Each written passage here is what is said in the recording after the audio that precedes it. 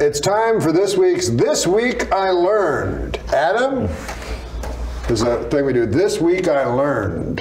Uh, this week, I learned that cum tastes like nickels. Oh.